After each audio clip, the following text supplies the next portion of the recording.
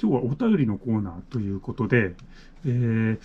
西日本の、まあ、とある場所、ちょっとこれはね、差し障りがあるから、ちょっと、あの、言わないでほしいって言われてるんだけども、西日本でもだいぶ西の方ですね。で、そこで、まあ、昭和50年代ぐらい、まだ童話事業の最盛期の頃ですね。えー、その頃の話なんだけども、まあ、ぶっちゃけ自分、ヤクザの事務所にいたと。あ、自分ヤクザをやってるつもりはなかったんだけども、まあちょっとなんか、そのヤクザの事務所にいるような状態だったと。で、それで、地元にはそのヤクザの事務所があって、解放同盟の事務所もあったんだと。それで、その、なんか解放同盟の手伝いをやらされたっていうんですね。その手伝いっていうのが、その、まあ西日本からね、えー、車に何人か乗ってですね、はるばる関東まで行くわけですよ。で、それ、その先で、あの、デモに参加すると。あの、石川さんを返せっていうやつもあれば、あの成田闘争ですね。成田空港の反対デモなんかにも、あの、動員されたと。で、日当がね、3500円。で、3500円って安いじゃないですか。どうもね、これね、あの、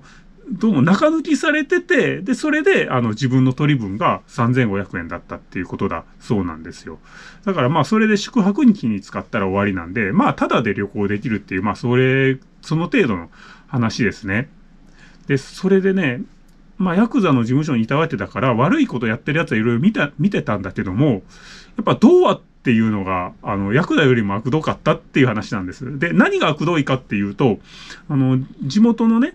えー、まあ、部落のボスみたいな人から版をもらって、それを銀行に持っていくと、お金がもらえたって言うんですよ。あの、もらえるんじゃないですよ、正確には。あの、まあそういう事業関係だとか住宅関係の貸付金を受けて、で、それをまあ平気で踏み倒すっていうやつですね。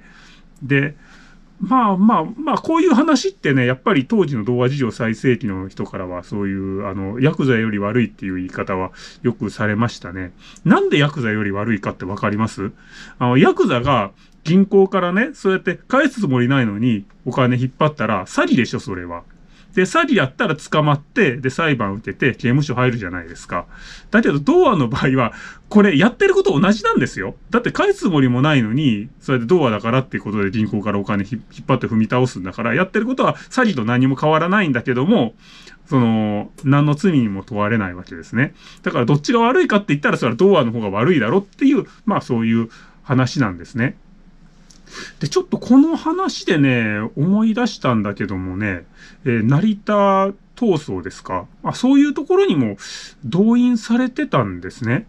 あの、新潟のね、えー、ちょっと話したんだけど、まさらでぱったりとその、成田闘争に参加してた人に居合わせた話したじゃないですか。まあちょっとね、その後でもいろいろ分かったことがあるんだけども、ぶっちゃけあれは新潟のブラック解放同盟と関係あるんですよね。で、それで、うん、まあ、それはさておき、とにかくね、えー、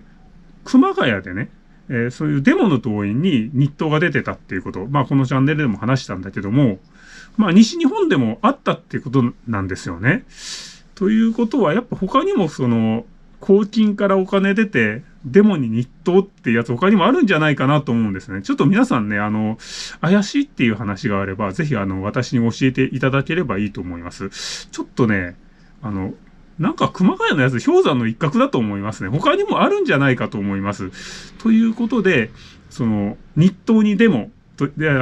デモに日当という話が、あちょっとお便りとしていただいたという、まあそういうお話でした。